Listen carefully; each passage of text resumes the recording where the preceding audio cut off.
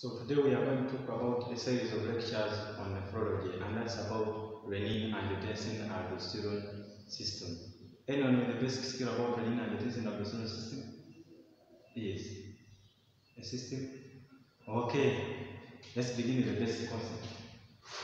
So when when they say renin and angiotensin aldosterone system, put in mind renin one, two, angiotensin, three, aldosterone. The moment you understand those, you are done. Okay.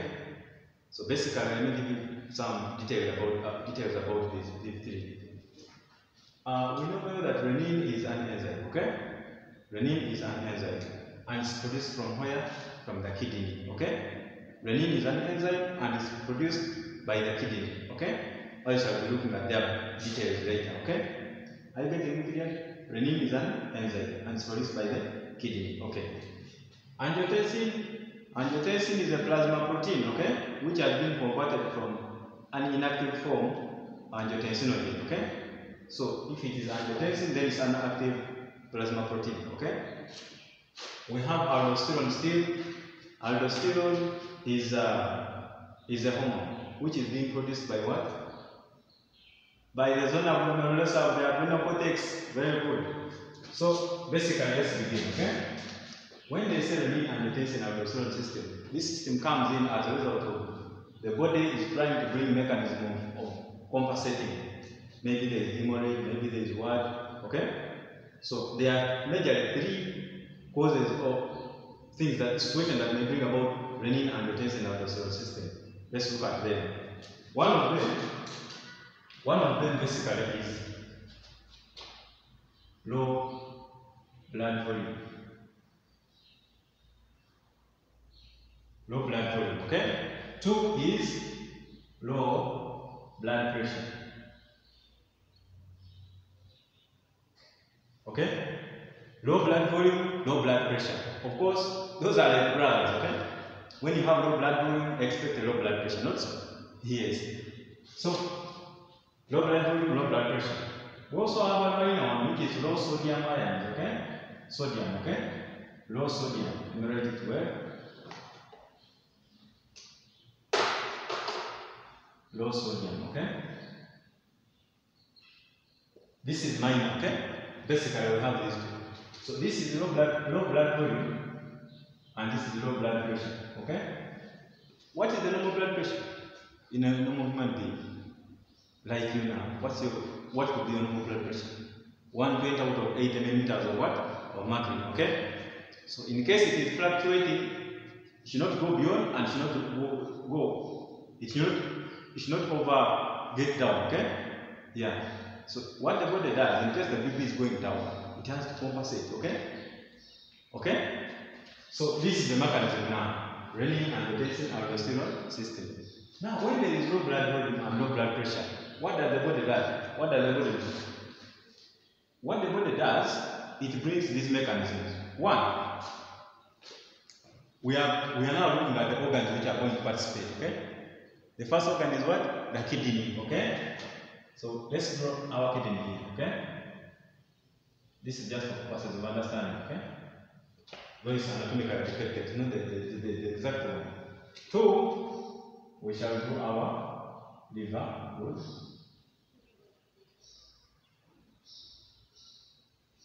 Three, we shall do the lungs, okay? Good.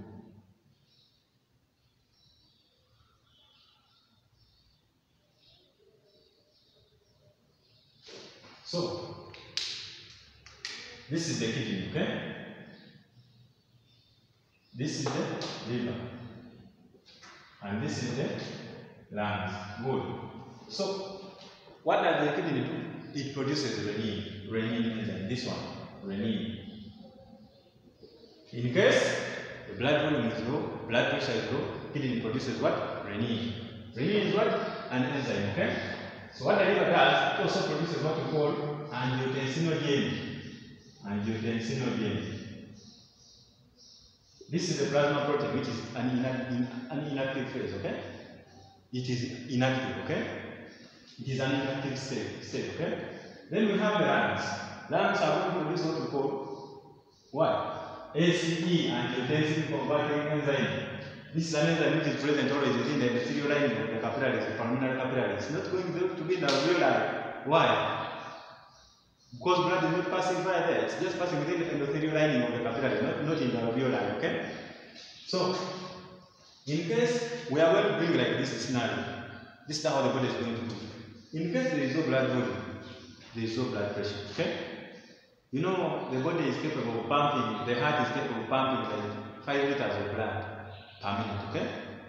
About 5 liters of blood, approximately 5 liters of blood, okay?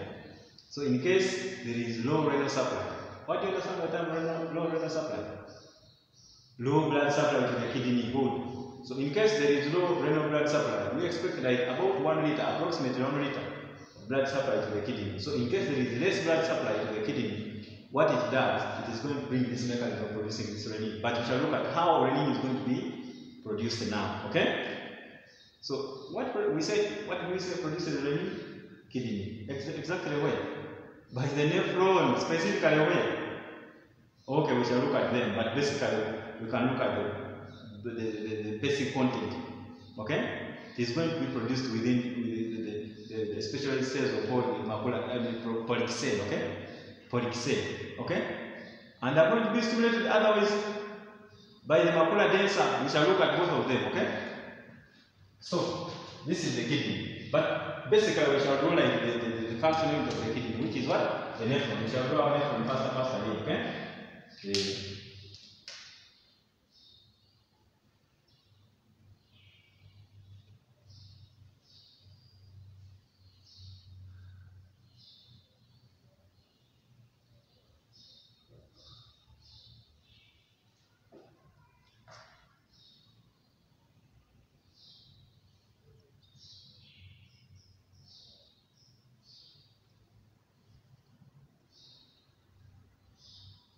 Okay, so we shall name this as, uh, okay, this is our, we have forgotten this.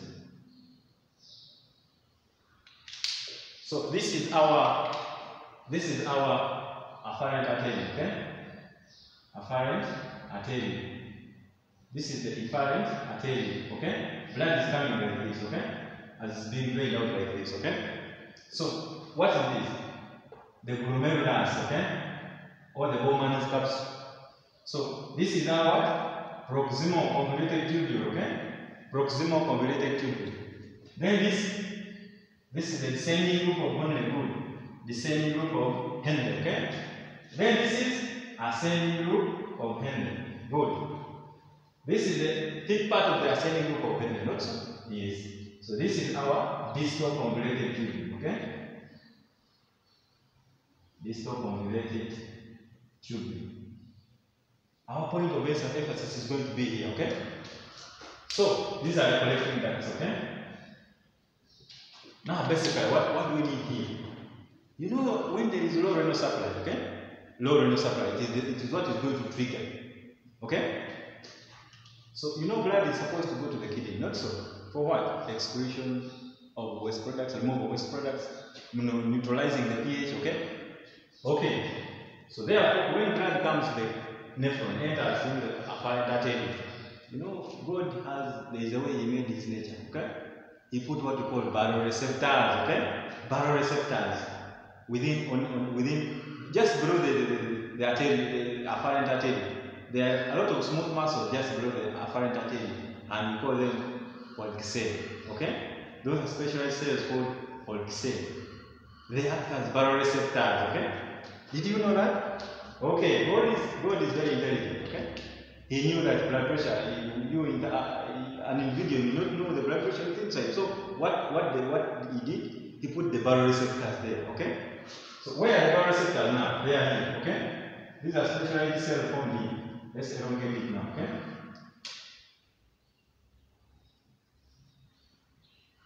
For purposes of learning, I've elongated. This is what afferent artery, which is bringing blood. Okay. So we have specialized cells called Pulk cell here, okay? Lot of them, many facilities, okay?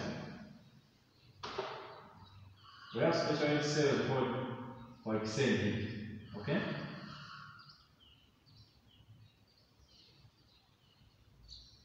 So these cells are called Pulk cell.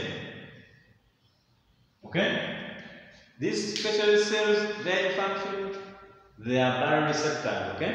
They are oh, okay, he's asking, what is a baroreceptor? A blood pressure measuring device, okay? Yeah. So these are Polic cells, okay? So now as blood enters through the kidney, enters the, the kidney, okay? Especially through the function of the, uh, the nephron, through the afferent artery. What the, what the body does, the body cell detect the pressure says no, there is, there is no blood supply here, okay? Maybe there is a problem there, there is hemorrhage, could be there is a hemorrhage, okay? So what the body, what it does, produces what we call renin, okay? So this, these are the Polic they are producing what we call renin into circulation. They will realize this first first and then what they do, they will, release, they will start releasing renin. What's the importance of renin? We shall see this point because it's going to react with, it's going to act on this angiotensinogen, okay? And convert it into angiotensin 1. Very good. So, let's see, let's look at this, okay? So, we are expecting, this is a continuous circulation, okay? This is a continuous circulation. Blood is going to move through the efferent artery into circulation and continue with the circulation, okay? Like this. This is a circulatory system in brief, okay? This is the kidney we are in, in, inside. This is the function we have just extracted some some small nephron here. Oh, sorry, sorry. There is a question which I forgot to ask you. How many nephrons do you think are in one kidney? 120? 120,000? No, no, no, no, no, no. It is approximately 1.2 to 1.5 million nephrons kidney. Did you know that? So if you know that you are a millionaire as far as as, uh, as far as nephron is concerned, okay? Okay. So this is the nephron. Now, as blood, as blood, as this Polic cell continue circulation, producing renin enzyme into circulation. Why? Into circulation. Why?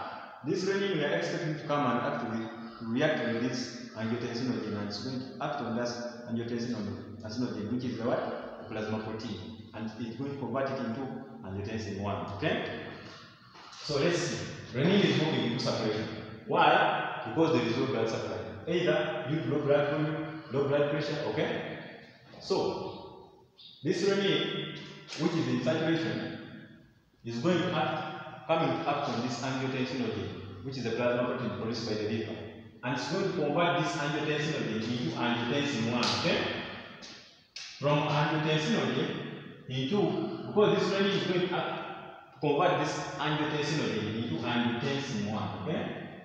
Angiotensin 1. Oh, thank God. This is the mechanism of its own. Renin acting on this plasma protein producing what we call angiotensin 1. Will the, will, the process stop? No, it's still proceeding, okay? So we have angiotensin 1 it's of, is of no use currently, okay? So what angiotensin also proceeds within the what? The circulation. This is the angiotensin 1. Okay? It is going to come to the lungs. How will it come there? Through pulmonary circulation. How will it meet this angiotensin converting enzyme? Because this enzyme is waiting for this angiotensin 1 to convert it into angiotensin 2. Okay? So it is good as blood is passing through the capillaries. You know this enzyme, God is also good plan. He put it just just on the endothelial lining of the of the capillaries, okay? So as this angiotensin 1 within circulation is passing through the lungs, through the capillaries of the pulmonary capillaries, it is going to be acted upon by this enzyme called angiotensin converting enzyme, and it's going to convert from angiotensin 1 into angiotensin 2. Good student. So as this angiotensin converting enzyme acts on this angiotensin, angiotensin 1, it's going to convert it into angiotensin, angiotensin 2. Okay? It is going to be converted from angiotensin 1 into angiotensin 2 by this angiotensin converting enzyme. Can I draw for you this enzyme here? This is the enzyme I was trying to talk about. SE is here.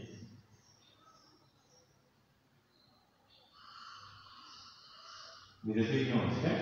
This is the enzyme. It's going to on this angiotensin 1. Oh, so, so funny. Okay. Angiotensin 1 into angiotensin 2. This is the enzyme, okay? Let's take this up. It's not uh, it's not a, uh, it is not not, anatomically it, okay it's anatomically defected just take, take, take like that so this is the enzyme which is going to on this angiotensin 1 to angiotensin 2 and you know whenever we get angiotensin 2 in the blood then there is some changes that have been that, that has taken place okay What will this 2 do? Now we are looking at what it will do. You are grateful in the brain. What are you going to do? Okay? So this angiotensin 2 is going to it is going to go to the receptor, okay? Yeah, it is going to target the receptor. You know, some people they normally say that angiotensin 2 is a potent vasoconstrictor, okay? A potent. The moment it produces within the body, it goes for a specific work. It's just like you know a soldier with a gun. The moment he sees the enemy, just attacks immediately, okay? So angiotensin 2 is going to go to the receptor specifically majorly within the blood vessel, okay? And is going to cause what we call vasoconstriction. Now, after getting vasoconstriction, you know when you constrict the, the, the blood vessel, what is, what is going to happen? Increase in blood pressure. Good. Now, we have angiotensin within circulation. It is targeted the blood vessel, okay? That attack on the receptor. This is an angiotensin 2. Has come to the receptor. This blood vessel which was which was dilated is going to constrict. So there will be high pressure. Okay? Are you, are you, are, are, are, have you got any concept up to this? I'm repeating once. Angiotensin 2, which has been converted from angiotensin 1 by angiotensin converting enzyme, is going to be after that, is going to attack on the receptors, okay? When it attaches on the receptors, especially within the blood vessels, it is going to cause what we call vasoconstriction. You know, this angiotensin 2, its importance is to cause vasoconstriction. We shall look at its another its other importance later after this. Basically, let's see this. So, angiotensin 2 attaching on the receptors causing vasoconstriction, therefore normalizing blood pressure. Okay? Yeah. So you know, you know, whenever blood vessels are dilated, expect blood pressure to lower. When you constrict them, blood pressure increases. Okay? So, and angiotensin 2 has acted on this, attached on the receptor. We have seen vasoconstriction, blood pressure has increased. Okay? So we have so far attained one. This was low blood pressure, so we have increased blood pressure. Okay? Now we are ready with this. Okay? Low blood volume on this. Now, this angiotensin 2 is not going to end here. It is going to go to the zona glomerulosa of the adrenal cortex of the adrenal gland. Okay? Any concept picked out of that? It is going to attach or no the zona glomerulosa of the adrenal cortex of the adrenal gland. Have you understood this? I repeat this. It is going to attach on the zona glomerulosa. It is going to go to the zona glomerulosa, a specific part within the what? The, the, the, the, the, adrenal gland, okay? So it is going to stimulate production of aldosterone. Very good, student. So when it goes to the zona glomerulosa the adrenal cortex, you know adrenal cortex is what adrenal glands are always here. Okay? On top of the, of the kidneys, okay? So it is going to come to the adrenal cortex specifically and cause secretion of aldosterone.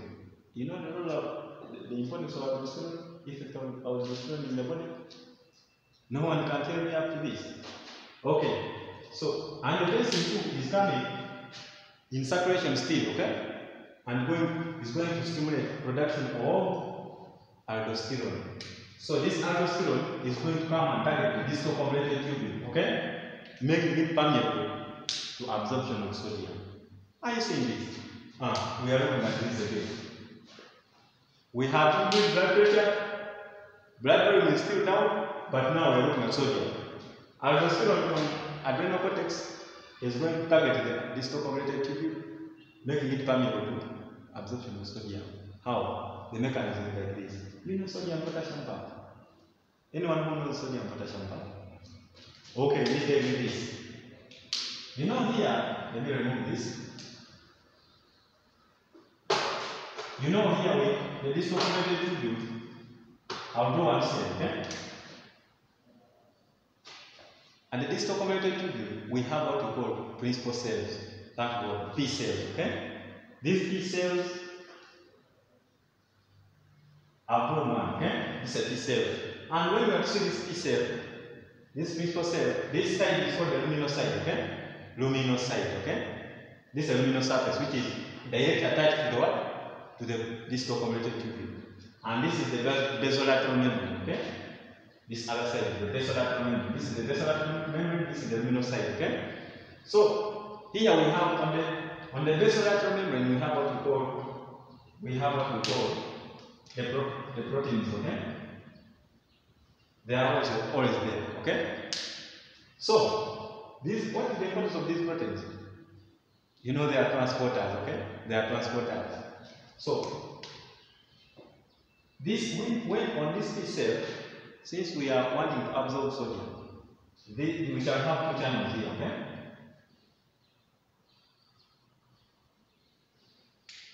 Which, which channels are these ones? No one knows this. Eh?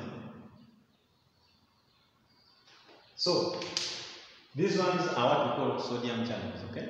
Sodium channels. These are called, these, these ones in red are called potassium channels, okay? Potassium channels. Now, as this aldosterone has come to this key cell, this is the principal cell, this is the protein, okay? This is, these are sodium channels, okay? These are potassium channels, okay? Now, what will happen?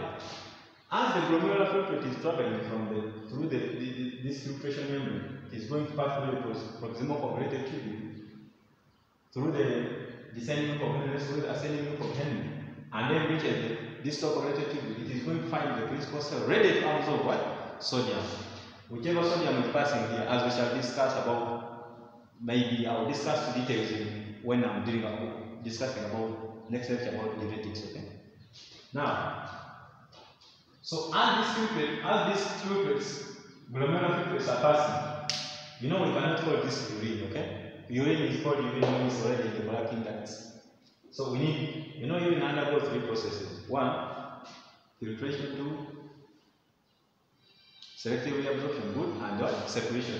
Now, these are sodium channels, okay? As, as these filtrates are passing here, they are going to be permeable to sodium. Now, remember we have a protein here. As sodium enters here, these proteins are going to throw this sodium out, okay? From this P cell. They are going to throw this sodium which has entered here. This is sodium, okay? These are sodium ions, and we already have potassium inside. So this potassium, as one sodium ion enters, it is going to be thrown, thrown out by this protein. And then a potassium ion out, as we shall see potassium ions here, okay? Through urine. Have you picked a point up to this? Aldosterone? Now, remember, we have now increased what we call sodium, okay? Sodium as what? Increased. Now we are remaining with what? With blood volume. So now this one, what will happen? We have what we call blood osmolarity. Who knows what we call blood osmolarity? Blood osmolarity.